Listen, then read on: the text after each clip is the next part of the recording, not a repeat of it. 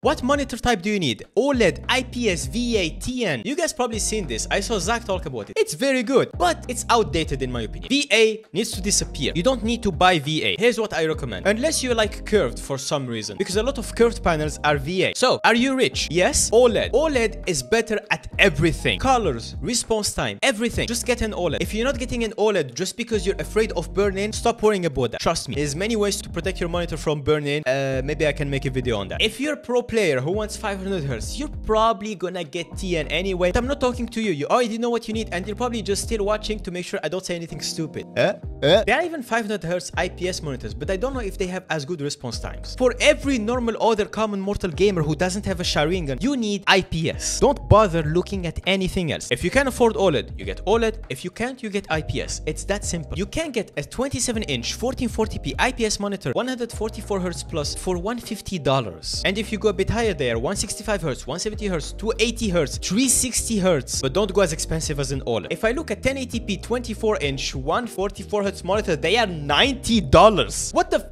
Back in my days, we didn't have this shit. This feels a bit unfair, to be honest. I didn't look at these prices in a long time, and I am a little bit shocked. This is a bit sus. But I'm just gonna assume it's real and it exists. One last thing I will recommend when you're doing your research, when you're watching reviews before you buy your monitor, is pay attention to the response time. Because all monitors advertise 1 millisecond response time and almost all of them are full of shit. So be mindful of that. Why should you care about the response time? Because if the monitor has shit response times, you're going to notice it. It's going to have ghosting, it's going to look weird. You're gonna be like, hey, this is 144 hertz, but it feels like 30. What's happening? It's going to look look weird. If you don't know what it means, do some research, but just trust me, you're going to notice it.